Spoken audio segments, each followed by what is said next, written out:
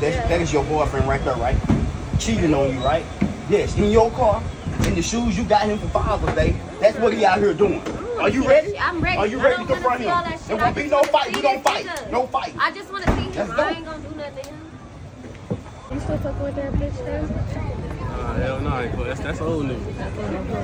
I'm up here with you. Why you ask for him? When the last time you seen him?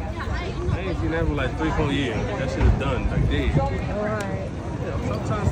Yeah, sometimes we, we, we finna get married. Fuck it. That's what it is. Man, is. you ain't got no money for no ring. Well, I can pawn this. And get us a ring. I'm telling you, I can, I can really do something. Yeah, I got, and I just got hired full time at the tip agency, so we can really do something. So we, uh, you know what? Next year we can go to Dubai. Whew, three lines in a row. Say, look, you want a car? Look, I'll get you a car right here.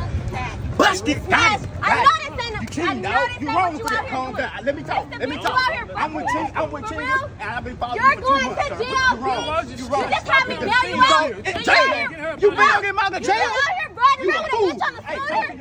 talk to your girl. To. No, fuck that. Fuck that. No, nigga, you got me. He ain't got no car. He ain't got no house. He broke. He don't take care of his kids. He don't. I do all that, man.